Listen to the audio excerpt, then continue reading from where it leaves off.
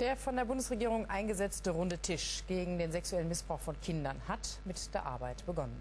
Das Gremium, das sich zur Stunde im Familienministerium trifft, will über Hilfen für die Opfer beraten und vor allem auch darüber, wie Missbrauch künftig verhindert werden kann. Mit dabei sind Juristen, Mediziner, Vertreter von Kirchen, Schulen und Vereinen.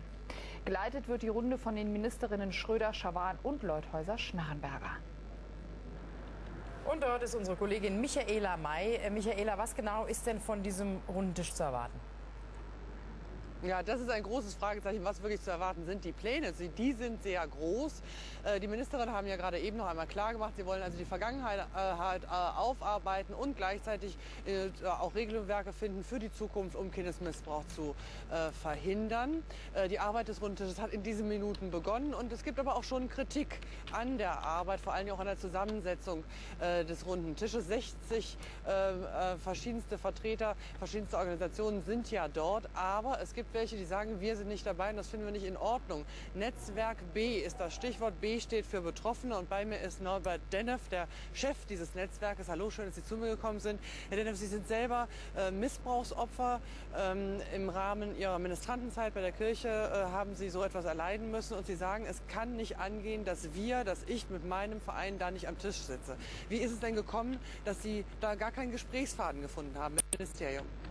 Äh, das war bisher immer so in der Vergangenheit, dass man immer über die Opfer, über die Betroffenen gesprochen hat und nicht mit ihnen. Das ist ja neu. Und das ist auch neu, dass sich Betroffene zusammengetan haben in einem Netzwerk, Netzwerk B, äh, um jetzt sich nicht mehr vertreten lassen zu wollen, sondern sich selbst zu vertreten. Das heißt, wir sind die Experten. Wenn die Experten nicht mit ins Boot genommen werden bei so einem runden Tisch, dann kann das nichts werden. Das heißt also, in der, bisher in der Vergangenheit äh, für die Katastrophe, die wir uns jetzt anschauen, sind die verantwortlich, die da jetzt am runden Tisch sitzen. Und wenn solange die, nicht die Betroffenen auf gleicher Augenhöhe miteinander reden, kann das nicht werden.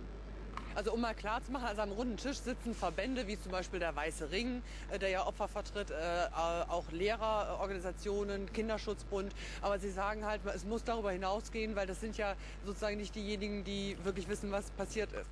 Ja, es ist eine neue, eine neue Situation entstanden in den letzten zwölf Wochen, dass sich immer mehr Betroffene, immer mehr Opfer gemeldet haben, lautstark, auch die, die keine Beweise haben. Wie gehen wir mit denen um?